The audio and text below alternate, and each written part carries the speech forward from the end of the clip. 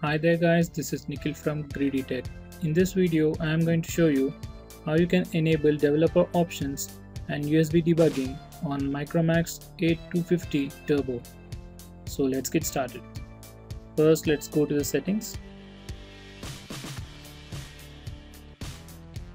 and scroll down to the bottom and select about phone. Over here, select the build number 7 times. Just keep clicking on it and then the developer options will be enabled. In this device the developer options are already enabled. So you have the developer options, just click on it. Now select the USB debugging option and press OK. So that's it guys, thanks for watching the video. If you have any doubts, go ahead and leave a comment below this video.